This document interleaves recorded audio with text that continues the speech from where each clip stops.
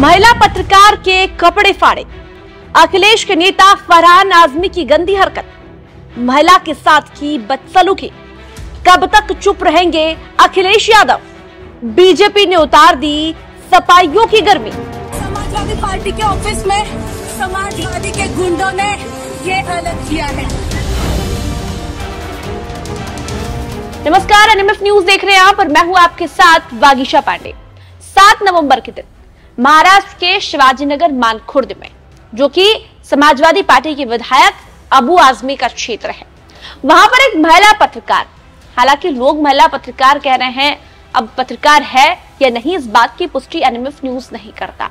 लेकिन according to Twitter user महिला पत्रकार जब शिवाजी नगर के रफीक नगर में गटर नाली की शिकायत लेकर अबू आजमी के ऑफ़िस, समाजवादी पार्टी के ऑफ़िस पहुँची तो वहाँ पर उन्हें अबू आजमी के बेटे फरहान आजमी मिले। ये महिला का कहना है। उनका कहना है कि जैसे ही मैं शिकायत लेकर पहुँची तो फरहान आजमी ने और उनके कार्यकर्ताओं ने उनके साथ बदसलूकी की, उनके साथ मारपीट की और उनके कपड़े फाड़ दिए। महिला पत्रकार के साथ और भी लोग गए थे, उनके साथ भी बदसलूकी की, उनके साथ भी मारपीट की। उसके बाद जब महिला पत्रकार वापस लौटी तो सड़क पर वो बलकने लगी, रोने लगी, मदद मांगने लगी और कहा कि मैं इन्हें छोड़ूँगी नहीं। लेकिन अभी तक अखिलेश यादव का, न ही अबू आजमी का, न ही फरहान आजमी का इस पर कोई बयान सामने आया है। अभी तक इस पर कोई प्रतिक्रिया नहीं दी है, क्योंकि सोशल मीडिया पर ये वीडियो तेज़ी से वायरल हो रहा है, जिसमें अबू आजमी का नाम लेकर ये कहा जा रहा है कि अबू आजमी ने महिला पत्रकार के कपड़े फाड़ दिए। हालाँकि इस पर अबू आजमी को अखिलेश यादव को बयान देना चाहिए, क्योंकि वे, ये वही अखिलेश यादव है जो कि ये कहते हैं कि समाजवादी पार्टी ही महिलाओं का सम्मान करती है। समाजवादी पार्टी ने ही महिलाओं को उत्थान किया है। योगी जी तो महिला विरोधी है तो फिर अखिलेश यादव का अभी तक बयान सामने क्यों नहीं आया? लेकिन बीजेपी ने अच्छे से मरोड़ दिया समाजवादी पार्टी के लोगों को। भारतीय जनता पार्टी के नेता, महाराष्ट्र के पूर्व विधायक, आपको बता दें, उन्होंने एक पोस्ट किया है, जिसमें उन्होंने लिखा है कि ये समाजवादी पार्टी की नीतियाँ हैं। क्या यही सम्मान समाजवादी पार्टी के लोग करते हैं? उन्होंने पोस्ट करते हुए लिखा, आपको बताते हैं। बीजेपी नेता और पूर्व विधायक संगम गुप्ता ने पोस्ट करते हुए लिखा, समाजवादी पार्टी के अबू आजमी के गुंडों ने इस महिला पत्रकार के कपड़े फाड़ दिए क्योंकि इन्होंने सड़क पर कचरा पर सवाल पूछा था। ऐसे ही बहन बेटी का सम्मान करते हैं सपा के टोपी वाले। एक और यूज़र ने ट्वीट करते हुए लिखा, मुंबई के शिवाजी नगर, गोवंडी में समाजवादी पार्टी के अबू आजमी के गुंडों द्वारा एक महिला पत्रकार के साथ बदसलूकी की घटना शर्मनाक है। सड़क पर कचरा उठाने का सवाल पूछने पर उनके कपड़े तक फाड़ दिए गए। क्या यही है सपा के टोपी वालों का बहन बेटियों के प्रति सम्मान? एक और दूसरे यूज़र ने लिखा, समाजवादी पार्टी की गुंडाई महाराष्ट्र में भी पहुँच गई है। समाजवादी पार्टी के अबू आजमी के गुंडों ने इस महिला के कपड़े फाड़ दिए। साथ ही लोगों को बुरी तरह से मारा पीटा, क्योंकि इन्होंने सड़क पर कचरा पर सवाल पूछ लिया था। जहाँ सपा का झंडा, वहीं है गुंडा।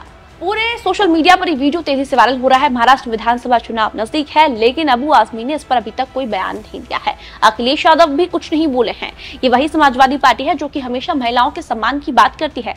इनके मंचों पर यदि बात करें हम तो लोकसभा चुनाव में समाजवादी पार्टी ने कितने टिकट महिलाओं को बांटे, ये आपने भी देखा। लेकिन अभी तक अखिलेश यादव चुप है। आखिर चुप क्यों है? उन्हें एक्शन लेना चाहिए। क्या कोई एक्शन अखिलेश यादव लेंगे?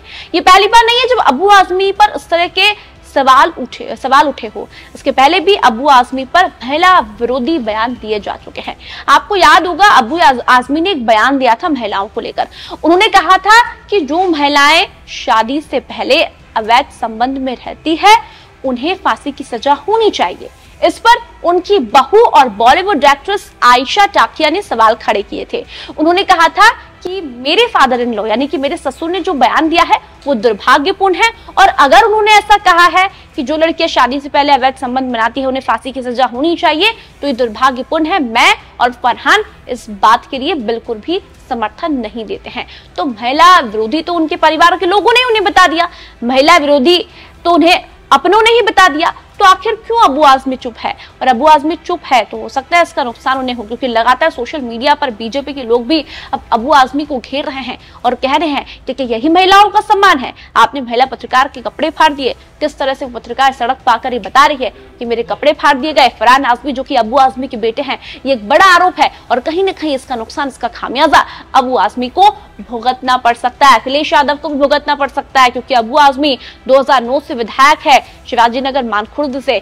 ऐसे में अभी जो लोग हैं मानपुर शिवाजी नगर के, वो अबू आजमी का विरोध तो कर ही रहे हैं, क्योंकि जो लोकल मुद्दे हैं वहाँ पर, अपराध को लेकर यदि बात करें, गंदगी को लेकर बात करें, या फिर और भी ऐसी चीज़ें हैं, बिजली को लेकर, पानी को लेकर तो लोग अबू आजमी का विरोध तो कर ही रहे हैं, लेकिन ये एक बड़ा मुद्दा आने वाले चुनाव में बन सकता है। आप अपनी राय इस पर क्या रखेंगे इस वीडियो को? मैं कमेंट करके ज़रूर रखिए, इस वीडियो को ज़्यादा से ज़्यादा शेयर कीजिए लाइक कीजिए, और एनएमएफ न्यूज़ को सब्सक्राइब कीजिए। धन्यवाद। समाजवादी पार्टी के ऑफ़िस में समाजवादी के गुंडों ने ये हालत किया है।